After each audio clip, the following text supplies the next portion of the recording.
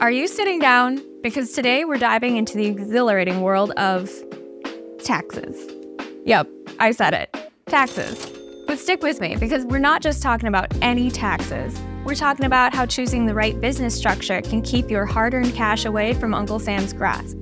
Legally, of course.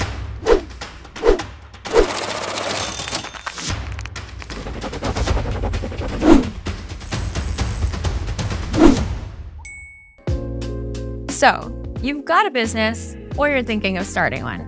Congratulations. Now, I'm going to break down each business structure and their benefits in a moment. But before you think there's a one size fits all answer, let me stop you right there. The truth is, it's not just about picking a business structure, it's about crafting a year round tax strategy. Yes, choosing the right structure is very important, but it's only about 20% of the battle. The other 80%, that's your ongoing tax strategy, consisting of tax planning, projections, and preparation. Also, it's not as if one entity structure is simply better than another. It's about knowing which one best suits your business. The best way to find that out is by having a professional accountant at your side. And one more thing to remember paying taxes isn't all doom and gloom, it means you made a profit. But with the right accounting solution, you can keep those taxes as low as legally possible. Now, let's get into the different business entities and how taxes are applied to them. Let's start with sole proprietorships, shall we? Sole props are like you and your business being one and the same, legally speaking. No fancy paperwork separating your personal and business assets here. Now, you might be thinking, is staying a sole proprietor the way to go for me?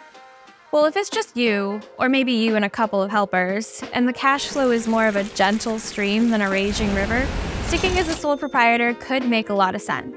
The thing is, when it comes to taxes, you're not looking at a gold mine of savings, but there are definitely some perks.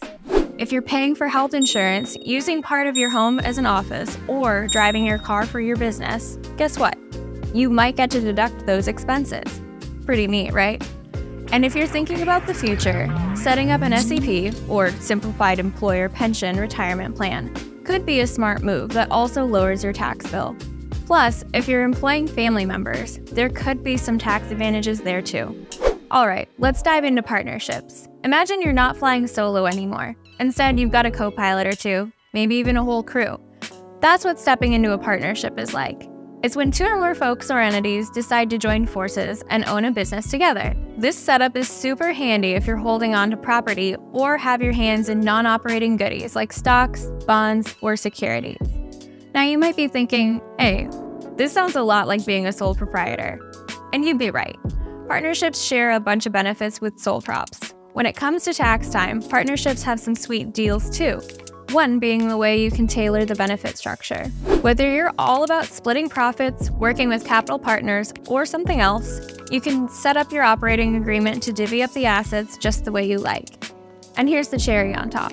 The income from the partnership is taxed at your personal tax rates, not some higher corporate rate. Plus, there's the QBID, the Qualified Business Income Deduction, which can significantly reduce how much of your income is taxable. Now on to S corporations.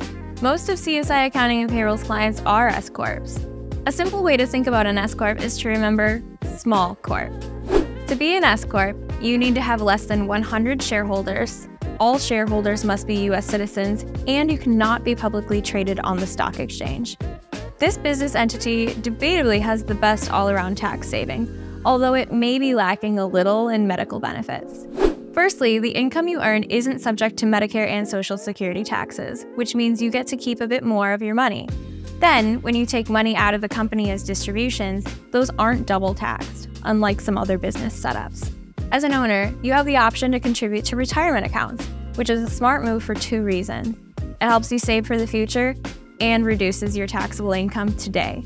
Your taxes are based on personal tax rates, not the higher corporate rates, making things simpler and potentially saving you money. And don't forget about the QBID, which also applies to S Corps. And finally, C Corps, or common corporations. C Corps have no limit on shareholders, can include non US citizen and entity shareholders, and can be publicly traded on the stock exchange. Mostly, this structure is only beneficial to very large businesses. Some tax advantages for C Corps include being able to write off 100% of charitable contributions and having the best benefits for owners, such as a medical plan that's 100% paid for by the business. Choosing the right entity is like choosing a partner for the zombie apocalypse. It could save your life, or at least your wallet. Remember, there's no single entity that's best for taxes. It's choosing the best entity for your business that will benefit you the most tax wise. So it's crucial to know what you're doing or to hire a professional accounting firm. Also, your business entity can change. For instance, at our firm, we examine your structure during onboarding, as well as around once per year or after a large change in your business. So, if you're ready to take on the tax world with the best structure and strategy for your business, give CSI Accounting and Payroll a shout. We're here to help you navigate tax savings all year round. Until next time, keep your profits high and your taxes low. See ya.